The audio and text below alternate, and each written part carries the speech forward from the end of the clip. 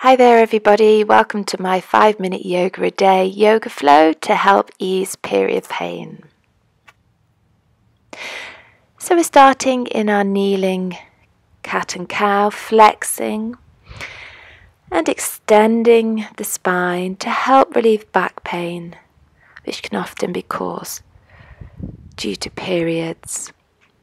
Bringing movement into the hip sockets and it's great to practice the flow of breath. Sliding the hands forward now and gently easing back into extended child's pose, widening the knees, allowing the rib cage to sink deeper into the mat and extend the arms to create length in the spine. Start to walk the hands around now into a twist as we start to stimulate the internal organs.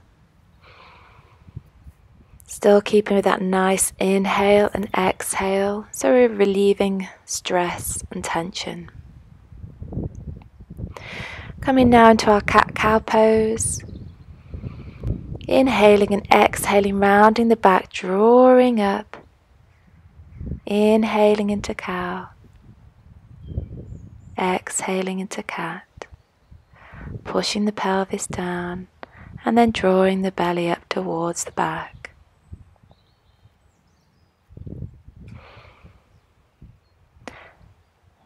As we start to now circle and rotate the hips, taking pressure off the abs, relieving tension in the lower back as we come again into our child's pose and curl the toes as we push our tailbone up into the air for downward dog, pedaling out the feet, bending the knees, relieving tension, allowing the blood to circulate to the head.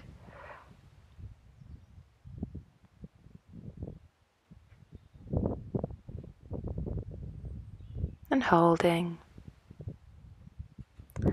Very gently now walking to the top of the mat on the balls of the feet or tiptoes and coming into our forward fold. And then our ragdoll position. So have a bend in the knee into tabletop gaze looking forward. And then very gently, vertebra by vertebra, roll yourself back up and come into extended Tadasana. Push that pelvis forward, stretching out the abs, relieving tension, and then coming back into our forward fold, into our transition, stepping the foot back into downward dog. Bring the left knee forward to the left wrist, rotate that thigh out, slide the right leg back as we come into our pigeon pose. This is so good for the glutes, for the hips, the IT band, and the psoas muscle. But it's a great stress reliever. And if you like, you can lower forward, take even more tension away in extended pigeon.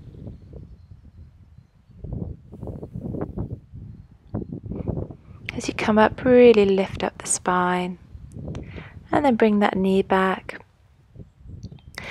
And just flex and extend that spine in cat cow and then push back to down dog as we make the other transition with the right knee to the nose, bringing that left foot across and extending the left leg back into pigeon again, finding your foundation, your space.